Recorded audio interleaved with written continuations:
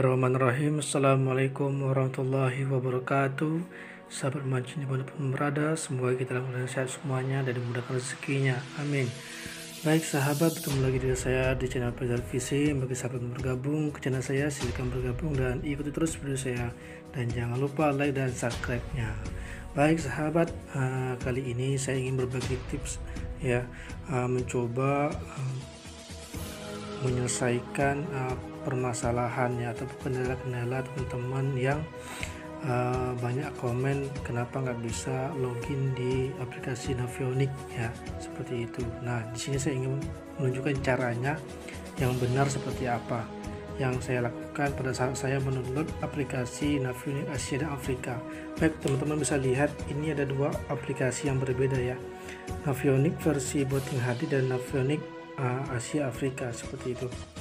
Nah, teman-teman saya akan membahas yang booting HD ini. Nah teman-teman bisa downloadnya di Playstore ya. Nah, nanti uh, silakan download.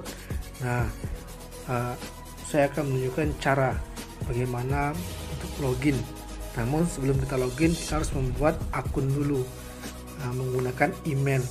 Nah, email ini uh, diusahakan ya aktif ya yang teman-teman bisa gunakan uh, kegiatan apa pun seperti itu. Nah, di sini ada beberapa hal yang harus kita pahami uh, dalam membuat akun yang kita gunakan untuk login di Navionic.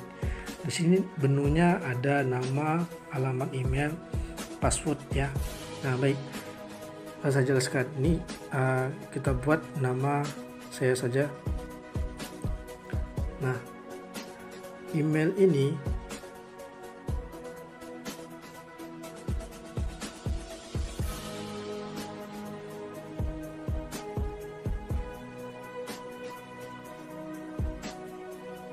saya buat email dulu ya, tapi saya sensor ya.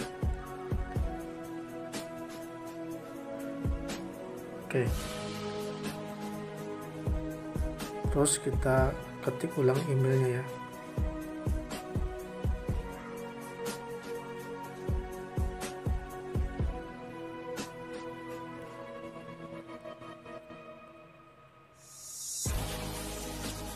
Baik. Ah, di sini password ah, saya jelaskan untuk emailnya jadi ah, ini email teman-teman buat yang harus menggunakan verifikasi nomor telepon. Nah seperti itu itu wajib.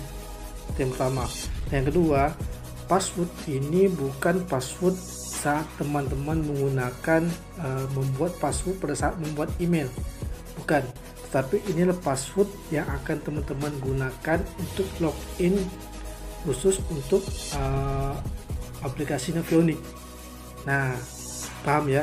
Jadi bukan uh, password yang teman-teman buat pada saat uh, membuat email. Kan pada saat membuat email itu uh, memasukkan password tuh. Bukan password itu tetapi ini password password yang sendiri untuk login nanti ke Navionic Nah, misalnya saya contoh. Nah, di sini dalam pembuatan password ini ada aturan dari Navionic sendiri, yaitu minimal 8 karakter di bawah password ini ya. Bisa lihat ini. Nah, ini. Itu minimal 8 karakter, huruf besar 1, huruf kecil 1 dan minimal 1 ada angkanya. Oke, kita coba ya. Kita buat P besar Faizal. Faizal terus ini kita buat saja 24 08 14 oke. Nah kalau seperti ini berarti passwordnya tidak ada masalah ya jadi kombinasi huruf besar huruf kecil dan angka nah seperti ini ya kombinasi huruf besar, huruf kecil dan angka. Nah, seperti itu teman. Jadi saya ingatkan lagi bahwa password ini bukan password pada saat teman-teman membuat email, tapi ini password uh, baru yang teman-teman buat untuk login nantinya di aplikasi Navionic Boting ini. Nah, ataupun aplikasi Navionic di Asia Afrika. Oke, setelah itu klik next next tunggu sebentar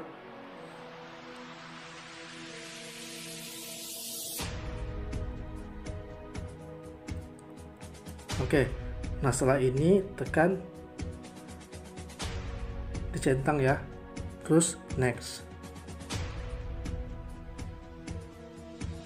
Baik, ini uh, emailnya saya sensor ya, maaf ya. Nah, ini teman-teman sudah masuk ya, sudah masuk ke aplikasi uh, Navionic versi bot Protein HD. Nah, seperti itu. Nih, teman-teman sudah masuk. Ini ya. Nah udah masuk nih. Ini tadi.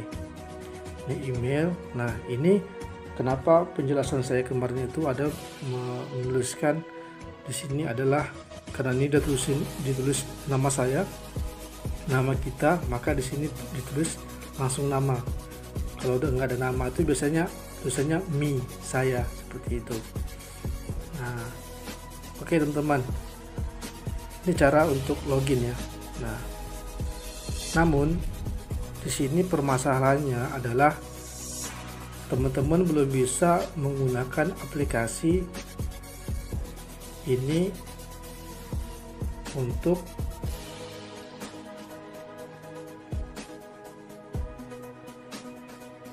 jadi aplikasinya belum bisa digunakan teman-teman. Kenapa? Jadi teman-teman harus beli dulu aplikasi ini. Kalau kita ubah versi ke Chat pun dia tidak mau. Karena dia harus uh, download seperti itu. Harus dibeli. Namun saran saya kalau teman-teman butuh ya kenapa tidak? Mendingan beli tapi bisa dipakai seumur hidup. Nah seperti itu ya.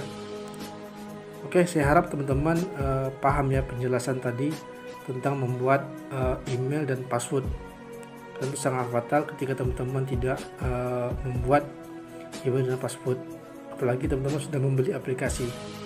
Oke uh, mudah-mudahan teman-teman mengerti dan jelas apa yang saya katakan nah ini banyak fiturnya lengkap ini. Semoga bermanfaat. Dari saya cukup sekian. Assalamualaikum warahmatullahi wabarakatuh